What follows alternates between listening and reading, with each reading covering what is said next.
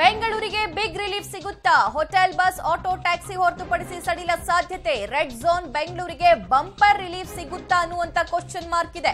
ಬೆಂಗಳೂರಲ್ಲಿ ಎರಡಷ್ಟೇ zone, red zone ಆಗಿ ವಾರ್ಡ್ಗಳು ಇರುವಂತದ್ದು. ಬೆಂಗಳೂರಲ್ಲಿ ಕಂಟೈನ್ಮೆಂಟ್ ಝೋನ್ ಹೊರಗೆ ರಿಲೀಫ್ ನಿರೀಕ್ಷೆ ಇದೆ. ಹೊಂಗಸಂದ್ರ, ಪಾದ್ರಾಯನಪುರವನ್ನ ಹೊರತುಪಡಿಸಿದ್ರೆ ಬೇರೆ ವಾರ್ಡ್ಗಳು ಸೇಫ್ ಆಗಿವೆ. ಹಾಗಾದ್ರೆ ಬೆಂಗಳೂರಲ್ಲಿ ಏನಿರುತ್ತೆ, ಏನಿರಲ್ಲ ಅಂತ ನೋಡೋಣ. ನಗರದಲ್ಲಿ ವಿಶೇಷ ಆರ್ಥಿಕ ವಲಯಗಳನ್ನ ಮತ್ತೆ ಓಪನ್ ಮಾಡೋದಕ್ಕೆ ಅವಕಾಶ. ನಗರದಲ್ಲಿ ಕೈಗಾರಿಕೆಗಳನ್ನ ಮತ್ತೆ ಆರಂಭಿಸಲು ಅನುಮತಿಯನ್ನ ನೀಡುವಂತಹ ಸಾಧ್ಯತೆ ಇದೆ. ನಗರದಲ್ಲಿ ಆರ್ಥಿಕ ವಿಶೇಷ ವಲಯಗಳನ್ನ, ವಲಯಗಳಿರುವಂತಹ ಕೈಗಾರಿಕೆಗಳು ಕೂಡ ತೆರೆಯೋದಕ್ಕೆ ಅವಕಾಶವನ್ನ ಮಾಡಿಕೊಡಬಹುದು. ರಫ್ತು ಆಧಾರಿತ ಕೈಗಾರಿಕೆಗಳು, ಇಂಡಸ್ಟ್ರಿಯಲ್ ಏರಿಯಾಗಳನ್ನು ಕೂಡ ತೆರೆಯೋದಕ್ಕೆ ಅವಕಾಶ ಮಾಡಿಕೊಡಬಹುದು. ರೆಡ್ ಝೋನ್ ಇದ್ರೂ ಕೂಡ ಬೆಂಗಳೂರಲ್ಲಿ ಇದೆಲ್ಲದಕ್ಕೂ ವಿನಾಯಿತಿ ಸಿಗುವಂತ ಸಾಧ್ಯತೆ. ಇಂಡಸ್ಟ್ರಿಯಲ್ ಟೌನ್ಶಿಪ್ ನಲ್ಲಿರುವಂತಹ ಎಲ್ಲಾ ಕೈಗಾರಿಕೆಗಳನ್ನ ತೆರೆಯೋದಕ್ಕೆ ಅವಕಾಶ ಕೊಡಬಹುದಾಗಿದೆ. ಸೊ ರೆಡ್ ಝೋನ್ ಬೆಂಗಳೂರಿನ ಕುರಿತಂತೆ ಮಾಹಿತಿ ಕೊಡ್ತಾ ಇರೋದು. ನಗರ ಪ್ರದೇಶದಲ್ಲಿ ಎಲ್ಲಾ ರೀತಿಯ ಕನ್ಸ್ಟ್ರಕ್ಷನ್ಸ್ ಗಳನ್ನ ಮತ್ತೆ ರೀಸ್ಟಾರ್ಟ್ ಮಾಡಬಹುದು ಅಂತ ಆದೇಶವನ್ನ ನೀಡುವಂತ ಸಾಧ್ಯತೆ. ಎಲ್ಲಾ ರೀತಿಯ ಖಾಸಗಿ ಕಚೇರಿಗಳು ಕೂಡ ಓಪನ್ ಆಗಬಹುದು. ಆದ್ರೆ ಕೆಲವೊಂದಿಷ್ಟು ಷರತ್ತುಗಳನ್ನ ವಿಧಿಸಲಾಗುತ್ತೆ ಅವರ ಮೇಲೆ. ಅಗತ್ಯ ಮತ್ತು ಅನವಶ್ಯಕವಲ್ಲದ, ಅಗತ್ಯವಲ್ಲದ, ಅಗತ್ಯ ಮತ್ತು ಅವಶ್ಯಕವಲ್ಲದ ಎಲ್ಲಾ ರೀತಿಯ ಅಂಗಡಿಗಳು ಕೂಡ ತೆರೆಯೋದಕ್ಕೆ ಅವಕಾಶ ಮಾಡಿಕೊಡಬಹುದಾಗಿದೆ. ಐಟಿ ಕಂಪನಿಗಳು ಹಾರ್ಡ್ವೇರ್, ಡೇಟಾ ಕಾಲ್ ಸೆಂಟರ್ಗಳನ್ನ ಓಪನ್ ಮಾಡೋದಕ್ಕೆ ಸರ್ಕಾರ ಅವಕಾಶ ಮಾಡಿಕೊಡಬಹುದು. ಕೋಲ್ಡ್ ಸ್ಟೋರೇಜ್, ಗ್ಯಾರೇಜ್, ಪ್ಲಂಬರ್ ಸೇರಿ ಸ್ವಯಂ ಉದ್ಯೋಗದ ಎಲ್ಲಾ ಸೇವೆಗಳನ್ನ ಮತ್ತೆ ರೀಸ್ಟಾರ್ಟ್ ಮಾಡಿ ಅಂತ ಸರ್ಕಾರ ಆದೇಶ ಕೊಡಬಹುದಾಗಿದೆ. ಎಲ್ಲಾ ರೀತಿಯ ಖಾಸಗಿ ಕಚೇರಿಗಳನ್ನ ತೆರಿಬಹುದು, ಆದರೆ ಕಂಡೀಷನ್ ಸಪ್ಲೈ ಶೇಕಡ ಮೂವತ್ತ್ ಮೂರರಷ್ಟು ನೌಕರರಿಗೆ ಮಾತ್ರ ಅವಕಾಶ ಇರುತ್ತೆ. ಆದರೆ ಓಲಾ ಊಬರ್ ಸೇವೆ ಇರೋದಿಲ್ಲ.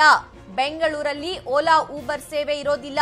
ಬಿಎಂಟಿಸಿ ಕೆಎಸ್ಆರ್ಟಿಸಿ ಖಾಸಗಿ ಬಸ್ಗಳ ಓಡಾಟವೂ ಕೂಡ ಇರೋದಿಲ್ಲ. ಸೊ ಏನ್ ಇರಲ್ಲ ಅನ್ನುವಂತಹ ಮಾಹಿತಿ ಆಟೋ ಕ್ಯಾಬ್ ಟ್ಯಾಕ್ಸಿಗಳು ಓಡಾಡುವಂತಿಲ್ಲ. ಆಟೋ ಕ್ಯಾಬ್ ಟ್ಯಾಕ್ಸಿಗಳು ಓಡಾಡುವಂತಿಲ್ಲ. ಬಿಎಂಟಿಸಿ ಕೆಎಸ್ಆರ್ಟಿಸಿ ಬಸ್ಗಳ ಸಂಚಾರ ಕೂಡ ಇರೋದಿಲ್ಲ.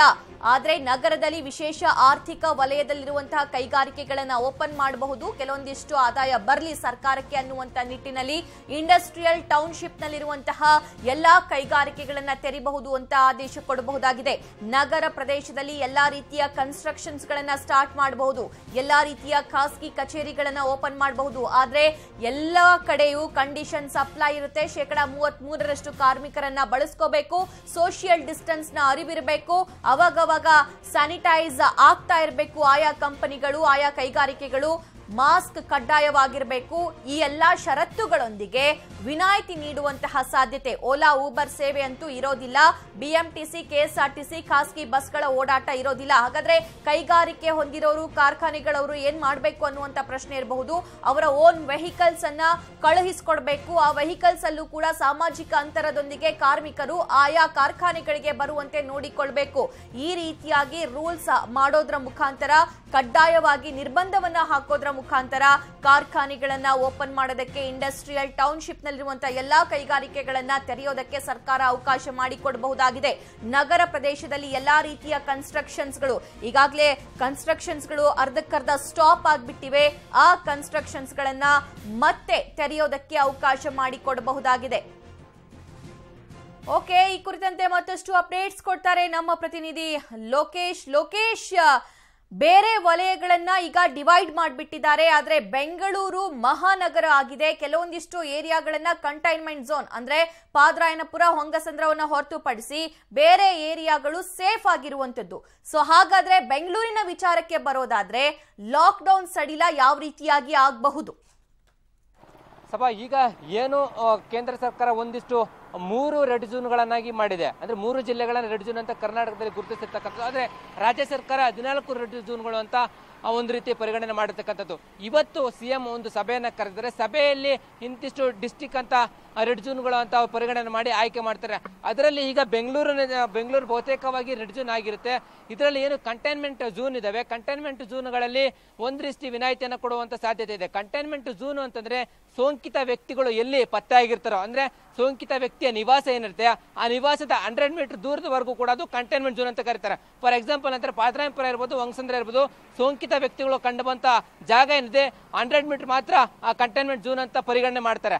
ಮತ್ತೆ ಉಳಿದಂತ ಜಾಗದಲ್ಲಿ ಒಂದಿಷ್ಟು ಜನ ಓಡಾಡೋದಕ್ಕೆ ಅವಕಾಶ ಕೊಡಬಹುದು ಮತ್ತೆ ಆಮೇಲೆ ಹಿಂದಿನಂತೆ ಅಂಗಡಿ ಅಂಗಡಿ ಮುಂಗಟ್ಟುಗಳು ಕೂಡ ಓಡಾಡೋದಕ್ಕೆ ಸಾಧ್ಯ ಮಾಡಿಕೊಡ್ಬೋದು. ಮತ್ತೆ ಕೈಗಾರಿಕೆಗಳಿಗೆ ಈಗಾಗಲೇ ಕೇಂದ್ರ ಸರ್ಕಾರ ಅನುಮತಿಯನ್ನು ಕೊಟ್ಟಿರ್ತಕ್ಕಂಥದ್ದು. ಆ ವಿಚಾರವಾಗಿ ರಾಜ್ಯ ಸರ್ಕಾರ ಕೂಡ ಒಂದಿಷ್ಟು ರಾಜ್ಯದಲ್ಲಿರ್ತಕ್ಕಂಥ ಕೈಗಾರಿಕೆಗಳಿಗೆ ಒಂದಿಷ್ಟು ಗೈಡ್ಲೈನ್ ಅನ್ನ ಅವು ಬಿಡುಗಡೆ ಮಾಡ್ಬೋದು ಇವತ್ತು ಸಂಜೆ ಒಳಗಾಗಿ. ಹಾಗಾಗಿ ಏನು ಕೈಗಾರಿಕೆಗಳೇ ಮಧ್ಯ ಕೈಗಾ, ಮಧ್ಯ, ಮಧ್ಯಮ ವರ್ಗದ ಕೈಗಾರಿಕೆ ಇರ್ಬೋದು, ಗುಡಿ ಕೈಗಾರಿಕೆ ಇರ್ಬೋದು, ಗೃಹ ಬಳಕೆ ಕೈಗಾರಿಕೆ ಇರ್ಬೋದು, ಇವುಗಳಿಗೆ ಓಪನ್ ಮಾಡ್ತಾರೆ. ದೊಡ್ಡ ದೊಡ್ಡ ಫ್ಯಾಕ್ಟ್ರಿಗಳೇನಿರ್ತಾರೆ ದೊಡ್ಡ ದೊಡ್ಡ ಫ್ಯಾಕ್ಟ್ರಿಗಳಲ್ಲಿ ಒಂದಿಷ್ಟು ಹಂಡ್ರೆಡ್ಗೆ ಒಂದು ಮೂವತ್ತು ಪರ್ಸೆಂಟು ಆ ಉದ್ಯೋಗಿಗಳನ್ನು, ಸಿಬ್ಬಂದಿಯನ್ನು ಇಟ್ಕೊಂಡು ಕೆಲಸ ಮಾಡ್ತಕ್ಕಂಥ ಕಾರ್ಯಕ್ಕೆ ಮುಂದಾಗಬಹುದು. ಮತ್ತು ಏನು? ರಫ್ತು ಮಾಡ್ತಕ್ಕಂಥ ಕೈಗಾರಿಕೆಗಳು. ಅಂದರೆ ಮನೆ, ಅಂದ್ ಮನೆಯಲ್ಲಿ ಗೃಹ ಬಳಕೆಯಲ್ಲಿ ಮಾಡ್ತಕ್ಕಂಥ ವಸ್ತುಗಳನ್ನು ರಫ್ತು ಮಾಡ್ತಾರೆ. ಅಂತ ಕೈಗಾರಿಕೆಗಳು ಕೂಡ ಅನುವು ಮಾಡಿಕೊಡ್ಬೋದು, ಮತ್ತೆ ಹಾಸ್ಪಿಟಲ್ಸ್ ಇರ್ಬೋದು, ಮತ್ತೆ ಮೆಡಿಕಲ್ ಸ್ಟೋರ್ಗಳಿಗಿರ್ಬೋದು ಆ ರೀತಿ ಒಂದು ರೀತಿ ರಫ್ತು ಮಾಡ್ತಕ್ಕಂಥ ಮತ್ತೆ ಹಾಸ್ಪಿಟಲ್ ಬೆಡ್ ತಯಾರು ಮಾಡ್ತಕ್ಕಂಥ ಕೈಗಾರಿಕೆಗಳೇನಿರ್ತವೆ, ಅಂತ ಕೈಗಾರಿಕೆಗಳಿಗೆ ಅನುಮತಿಯನ್ನ ಕೊಡ್ಬೋದು. ಈಗಾಗಲೇ ಕೇಂದ್ರ ಸರ್ಕಾರ ಸೂಚನೆ ಕೊಟ್ಟಂತೆ ಯಾವುದೇ ರೀತಿಯ ಮೆಟ್ರೋ ಇರ್ಬೋದು ಬಸ್ ಸಾರಿಗೆ ವ್ಯವಸ್ಥೆ ಇರ್ಬೋದು, ಯಾವುದೇ ರೀತಿಯ ಸಾರಿಗೆ ವ್ಯವಸ್ಥೆ ಇರೋದಿಲ್ಲ. ಇವತ್ತು ರಾಜ್ಯ ಸರ್ಕಾರ ಮತ್ತೆ ಮುಖ್ಯಮಂತ್ರಿಗಳು ರೆಡ್ ಝೋನ್ ಜಿಲ್ಲೆಗಳೇನಿದ್ವೆ, ಅವ್ರ ಜೊತೆ ಮಾತನಾಡಿ ಮತ್ತೆ ಅಲ್ಲಿನ ಸ್ಥಳೀಯ ಅಧಿಕಾರಿ ಇರುತ್ತೆ. ಫಾರ್ ಎಕ್ಸಾಂಪಲ್ ಬೆಂಗಳೂರಿನ ಬಿ ಬಿ ಎಂ ಪಿಯ ಆಯುಕ್ತರಿರ್ಬೋದು ಅವರಿಂದ ಒಂದಿಷ್ಟು ಗೈಡ್ಲೈನನ್ನು ತಗೊಂತಾರೆ. ಅಂದ್ರೆ ಏನು ಓಪನ್ ಮಾಡಬೇಕು, ಏನು ಓಪನ್ ಮಾಡ್ಬೋದು, ಪರಿಸ್ಥಿತಿ ಯಾವ ತರ ಇದೆ ಕಂಟೈನ್ಮೆಂಟ್ ಝೋನ್ಗಳಲ್ಲಿ ಪರಿಸ್ಥಿತಿ ಯಾವ ಮಟ್ಟದಲ್ಲಿ ಇದೆ ಎನ್ನುವಂಥದ್ದನ್ನು ಪರಿಗಣನೆಗೆ ತೆಗೆದುಕೊಂಡು ಒಂದಿಷ್ಟು ವಿನಾಯಿತಿಯನ್ನು ನೀಡ್ತಕ್ಕಂಥ ಸಾಧ್ಯತೆಗಳು ಇವತ್ತು ಕಾಣ್ತಾ ಇದೆ ಸಭಾ. ಓಕೆ, ಇನ್ನು ಕೈಗಾರಿಕೆಗಳ ವಿಷಯಕ್ಕೆ ಬರೋದಾದ್ರೆ, ತುಂಬಾ ಜನ ಗಾರ್ಮೆಂಟ್ಸ್ಗಳಲ್ಲಿ ಕೆಲಸ ಮಾಡೋರು ಬಿಎಂಟಿಸಿ ಬಸ್ಗಳನ್ನ, ಮೆಟ್ರೋಗಳನ್ನ ಅವಲಂಬಿಸಿರ್ತಾರೆ. ಸೊ ಇದ್ಯಾವುದು ಕೂಡ ಓಡಾಡಲ್ಲ. ಹಾಗಾದ್ರೆ ಆ ಸೆಕ್ಷನ್ ಅಲ್ಲಿ ಏನಾಗುವಂತಹ ಸಾಧ್ಯತೆ ಇದೆ? ಖಂಡಿತ ಇದೊಂದು ರೀತಿಯ ಗೊಂದಲ ಆಗಿರ್ತಕ್ಕಂಥದ್ದು. ಕೈಗಾರಿಕೆಗಳಲ್ಲಿ ಒಂದು ರೀತಿ ಮೂರು ವಿಭಾಗದ ಕೈಗಾರಿಕೆಗಳು ಬರ್ತವೆ. ಮಧ್ಯಮ ವಿಭಾಗದ ಕೈಗಾರಿಕೆಗಳು, ಗುಡಿ ಕೈಗಾರಿಕೆಗಳು, ಗೃಹ ಬಳಕೆ ಕೈಗಾರಿಕೆಗಳು ಅಂತ. ಈ ಒಂದು ಕೈಗಾರಿಕೆಗಳು ಏನಿರ್ತವೆ, ಅದರಲ್ಲಿ ಒಂದಿಷ್ಟು ಸಿಬ್ಬಂದಿಯನ್ನ ಅಂದ್ರೆ ಹಂಡ್ರೆಡ್ಗೆ ಮೂವತ್ತು ಪರ್ಸೆಂಟ್ ಜನರನ್ನ ಇಟ್ಕೊಂಡು ಕೆಲಸ ಮಾಡ್ತಕ್ಕಂಥ ಕೈಗಾರಿಕೆಗಳಿರ್ತವೆ.